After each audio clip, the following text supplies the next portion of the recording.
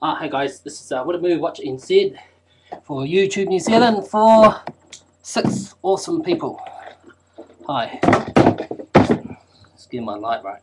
Um, in a bit of a hurry at the moment, getting ready to go out tonight. I'm going to a social. Um, and yeah, been a pretty hectic week this week. As, in, as some of you know, I'm at school. Um, I'm also doing some uh, other stuff. Um, yeah, weather's been really good here in New Zealand.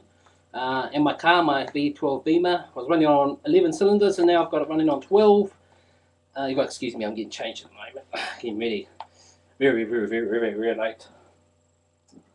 Late switcher. Um, so it's running on 12 cylinders now.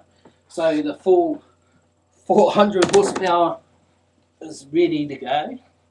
Um, and another busy week next week, doing more work.